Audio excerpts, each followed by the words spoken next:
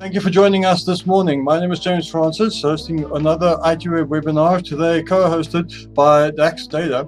And we are touching on a topic that we've not really worked on a lot before, and this is document management and creating a paperless environment.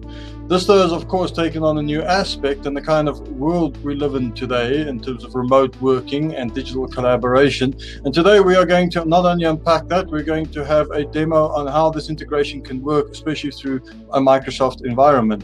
So let's have a look at the benefits and the value. So the benefits are you can create, edit, sign, and manage secure documents from within the Microsoft environment. An intuitive and accessible digital experience on any device. So if they're using Teams on their phone or if they're using SharePoint on their phone, they would have access to that as well. Real time visibility on contracts, whether it be the commenting in the review or whether you want to see how far it is in the signature process, the ability to see where it's being held up and possibly replace the signer with an alternative person if need be. Going paperless helps eliminate any data errors, and it is globally compliant, whether it be for the e signatures but also for security. And the value you accelerating your business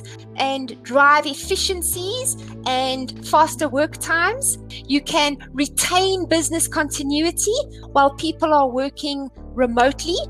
You can boost both customer and employee satisfaction and increase your ROI from both a Microsoft Azure Dynamics investment and then reduce the risk.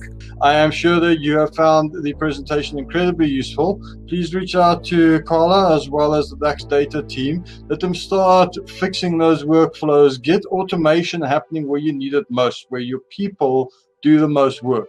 This isn't about AI. It's not about IoT. It's not about reinventing the wheel, even. It's about taking very straightforward, necessary parts of the business and bringing them into digital.